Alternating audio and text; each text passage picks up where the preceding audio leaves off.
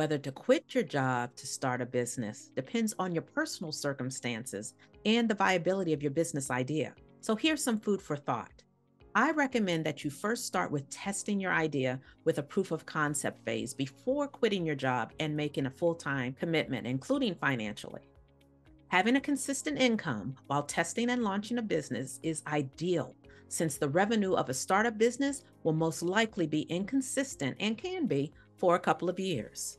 You also will want to do some market research to determine if there is enough of a demand to support your idea and to determine their willingness to pay what is necessary in order to be profitable.